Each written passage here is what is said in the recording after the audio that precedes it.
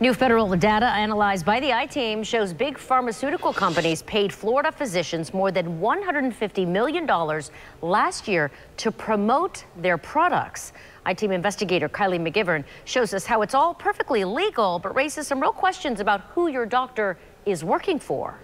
Yes, Wendy, we found opioid makers paying Tampa Bay area doctors at the same time locals caught in the opioid epidemic struggled with addiction. Caught in that epidemic, it, it got out of control very quickly. Recovering addict Steven Sundquist, the former high school baseball player, was first prescribed opioids back in 2006 as a teen, following a Tommy John surgery. And I was never, you know, made aware of what these drugs were going to do to me, you know, the side effects, nothing like that. Sundquist also doesn't know whether any of his doctors ever received payments from drug makers. The I team found opioid makers pumping tens of thousands of dollars into the pockets of local doctors in just the last year for speaking fees, consulting work, and meals.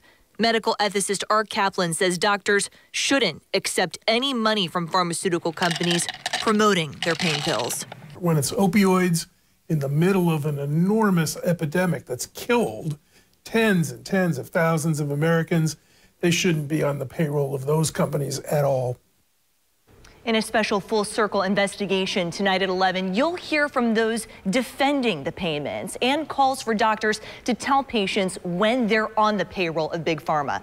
I'm I-Team investigator Kylie McGivern taking action for you. Kylie, looking forward to that one.